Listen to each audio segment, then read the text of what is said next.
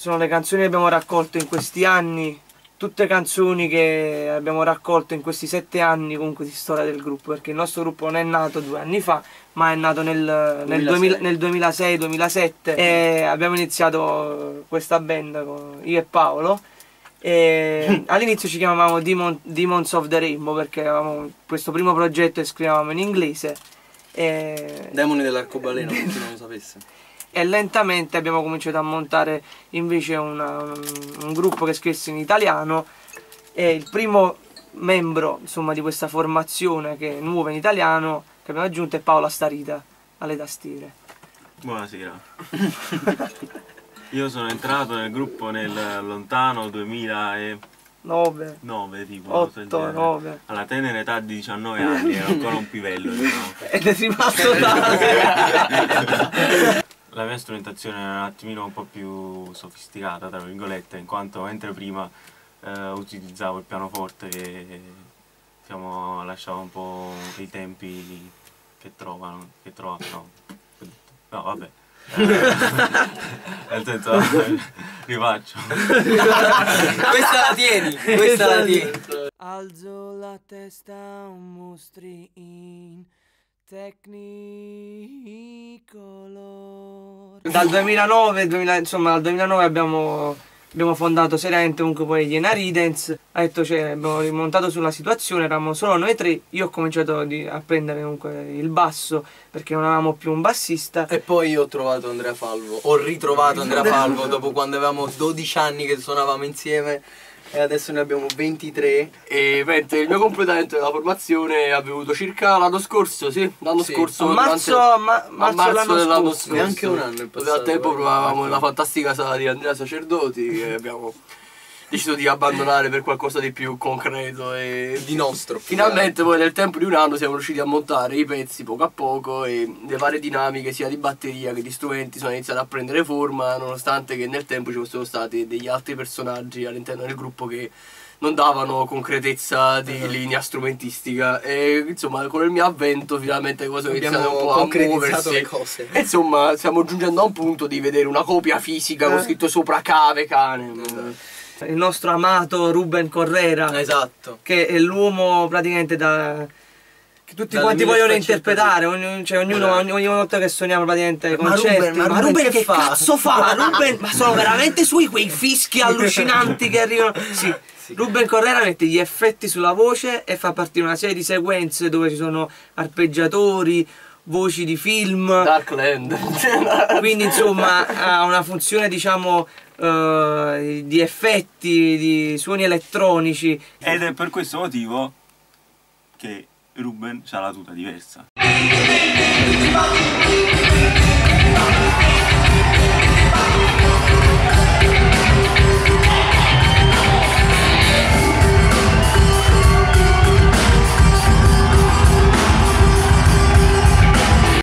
Un abbinamento che è nato un po' per caso nel senso che durante un concerto a bancarotta io ho deciso di comprare queste, queste tute perché volevamo creare un effetto un po' particolare con le luci, che visto che comunque il bianco insieme a delle luci colorate eh, fa, un bel, fa, un bel, effetto sul palco e da allora non ci siamo mai tolte e ogni, ad ogni concerto le, le riutilizziamo.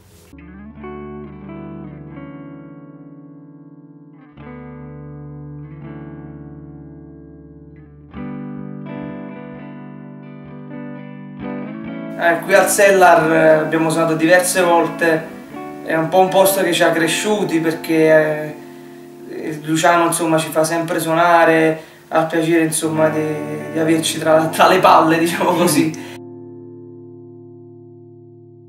Era un posto affascinante perché tutti rimangono praticamente coinvolti alla musica, essendo comunque molto stretto. Suonavamo, suonavamo due o tre anni fa con un'altra formazione e mi ricordo che c'erano più o meno una settantina di persone e cominciò a grondare sudore da, da tut, dappertutto, cioè dal tubo centrale, eh, fu una cosa assurda. Allora, il disco si chiama Cave Canem e il nome insomma già fa capire un po' di, di cose, riguarda un po' al significato totale delle, Significante. al significante totale delle, delle canzoni. Il cane è inteso come persona, la persona normale, la persona media, il ragazzo medio che vive in questa società. Cane cane vuol dire attenti al cane proprio perché noi stiamo dando un messaggio al cane, tra parentesi persona, comune ragazzo che vive in questa società, che deve un attimo svegliarsi, ribellarsi a questa situazione di chiusura mentale che ha. Attenti a voi che comunque gestite le nostre vite, Esatto. decidete insomma che cazzo di fine dobbiamo fare, attenti perché se insomma se, se le persone, se le persone comunque si incazzano, le cose possono comunque potrebbero cambiare per voi. Non basta il mare è una, una canzone dedicata alla nostra città Napoli. La tua ombra mi ha tormentato. Eh, non dobbiamo scappare davanti ai problemi di questa città. La canzone è stata scritta eh, quattro anni fa, è stata forse uno dei primi pezzi italiano che abbiamo scritto. L'ho scritto proprio in un momento particolare della città, quando fu ucciso un ragazzo che suonava la fisarmonica nella Cumana e che fu ucciso da una pallottola vagante di un, di un camorrista.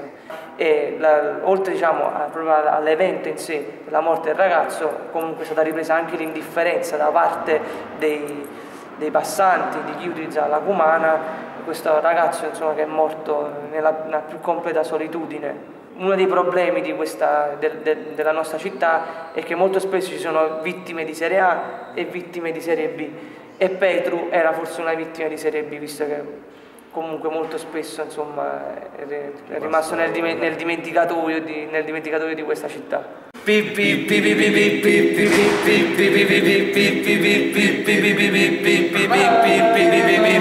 È una canzone eh, particolare, parla un po' di quelle che sono, eh, un po' di quella che è la, la nostra eh, solitudine, eh, la nostra separazione sociale. È una cellula che deve praticamente, comunque, ha intenzione di sabotare un sistema, eh, deve praticamente unirsi ad, altri, ad, altri- ad altre cellule. Una cellula non deve semplicemente eh, farsi condizionare di- dalle differenze sociali, ma deve cercare di, eh, farne, te- di farne tesoro.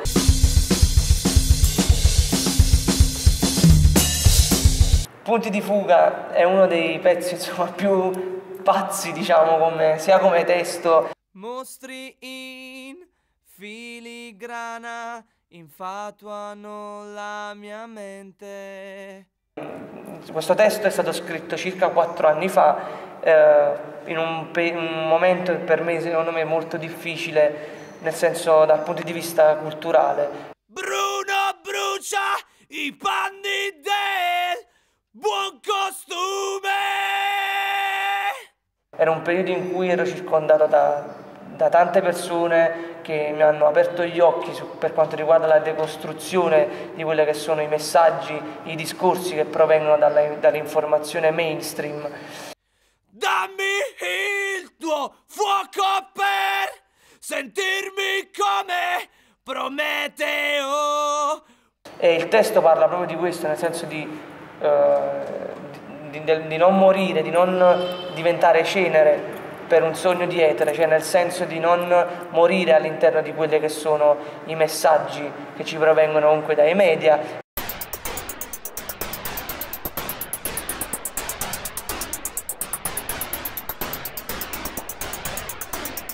Suoni Randaggi è una, una canzone stata scritta due o tre, due tre anni fa, parla un po' diciamo della- della- di quelle che sono le solitudini, un po' delle nostre vite notturne, quelle- del fatto che comunque molto spesso eh, passiamo il tempo magari eh, in cose inutili, Proprio ieri comunque stavo. Proprio ieri stavo. Proprio ieri stavo ad una festa e dalle casse si sentiva questa musica a penso quant'è? 120-130 bpm così.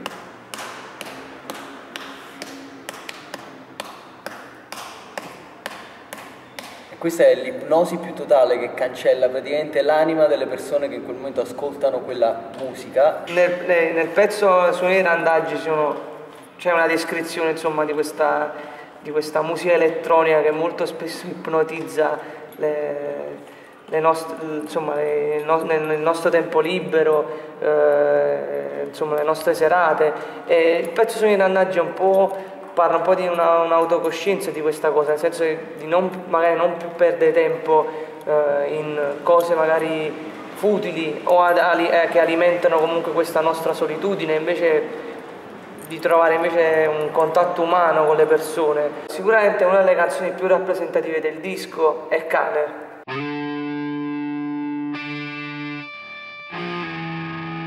Cane è una canzone che avevo scritto tre anni fa eh, durante praticamente una mia esperienza di tirocinio eh, in, in, prefettura, una di quelle esperienze ridicole insomma, che ti propina all'università. Questa canzone insomma, eh, rispecchia un po' questa esperienza che ho avuto in questo posto, eh, mi ha scioccato insomma, la brutalità, cioè di come si diventa praticamente eh, cattivi, spietati verso praticamente eh, gli altri insomma, lavoratori e chi comunque eh, richiede da te un, un, servizio. Una strofa che, a cui ci tenevo molto in questa canzone parlava insomma, proprio del fatto che molti di noi che studiano e che diciamo, studiano anche cose un po' che, vanno, che interpretano in maniera critica questo sistema, alla fine l'università, il lavoro ci inseriscono sempre in delle situazioni che in realtà tendono a, a, diciamo, a configurare sempre di più questo sistema.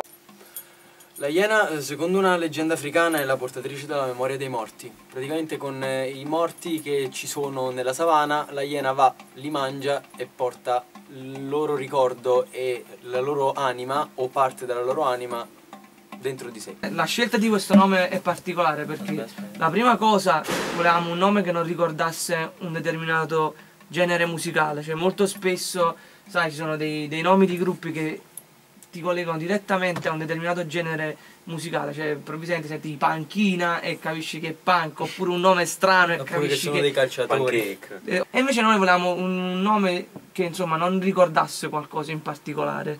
La Iena è un divoratore di carogne, quindi la nostra musica è se divorasse un po' quelle che sono le carogne mediatiche, le, le carogne che, che troviamo all'interno della nostra vita, eh, quindi eh, perciò abbiamo scelto così, tipo diciamo la, iena, la, tipo la SIAE, questa gente un po' del cazzo. Uh, Iena Ridens è, la, è, una canzone che ci siamo un po' autodedicati, è una canzone un po' che parla delle, delle nostre vite, perché comunque all'interno del nostro gruppo per esempio studio, Ruben lavora, Iena Ridens parla un po' del, della capacità comunque di ritagliare all'interno delle nostre vite degli spazi, dei momenti in cui possiamo distaccarci da quello che, eh, quelle che sono le nostre vite eh, un po' eh, rutinarie, ma anche eh, quelle che ci vengono imposte dal, dal lavoro. Ma non basta il mare dedicato alla nostra città, Napoli. E abbiamo passato comunque molti, molti giorni a trovare dei, dei, degli arrangiamenti giusti per il disco. Allora, praticamente questa è la mia pedaliera. Il disco non è stato registrato un, in un solo studio, ma eh, da, in, vari, in, vari, altri studi, tra cui questo, questo piccolo studietto qui, la saletta. Queste sono le mie tastiere. E qui abbiamo registrato le chitarre. Per quanto riguarda le chitarre che ho usato per la registrazione di Cave Canem sono state ehm, una Gibson Les Paul Custom del 77 la batteria l'abbiamo registrata da Vittorio Riva. Abbiamo fatto in modo di creare un qualcosa che sia appunto differente mi, mi, mix, mixando degli elementi di batteria sia che sono un po' provenienti dal vintage rock sia un po' più dal punk rock un po' più odierno ecco una PRS Custom 24 uh, eh, le, invece basso e voce le abbiamo registrate da Oscar, da, da Oscar Montalbano e Simona De Felice alla Gem Music School. Assomiglia a un ragno, come potete vedere. Cioè, praticamente gli mancano soltanto le zampe ed è un ragno, è bellissimo perché il ragno è bellissimo. Uh, una Offner gentilmente donata da Zio Costa, uh, che saluto e ringrazio. Mentre le tastiere ce le siamo fatte grazie a Dio a casa. e automaticamente sono uscite delle linee di batteria abbastanza moderne ma che comunque sono molto caratteristiche e adatte ai nostri pezzi. E poi un'Ovation eh, degli anni 80 utilizzata per registrazione di chitarre acustiche. Uh, dei suoni comunque adatti.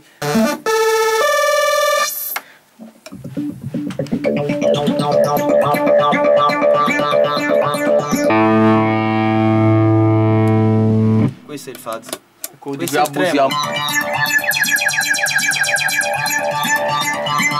Buona parte della, della preparazione del, del disco è stata fatta eh, nel nostro bunker segreto a Nerano dove abbiamo provato a lungo i pezzi e abbiamo anche cercato di trovare una, una sintonia tra di noi, visto che comunque la formazione sta in piedi da un anno.